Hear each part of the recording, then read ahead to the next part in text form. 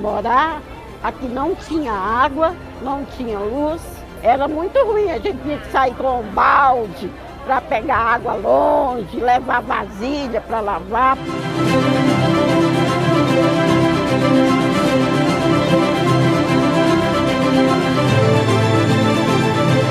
A gente está falando de resolver o problema.